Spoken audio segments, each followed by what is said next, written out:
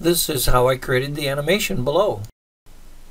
First, I added characters that were already available with CrazyTalk Animator.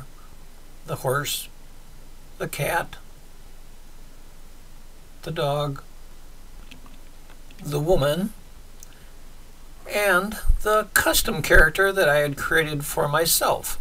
More on that later in this video.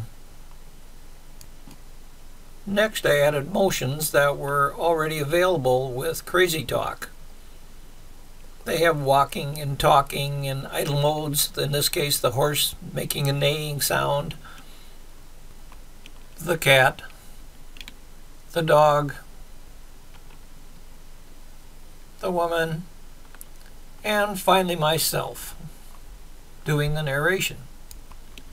And this is one of the fun parts, creating your own custom character. You drag on a dummy character initially, and then go into modifying that character where you can replace elements on the body. In this case, I'm replacing it with my head. I had earlier taken various photo shots, cropped them out, and that's what I'm adding to the head. The eyes and everything also have to be moved and repositioned as you're playing with this. The final steps were to add some clothes, and to create some custom motions. Watch the video below which includes backdrops and camera motions.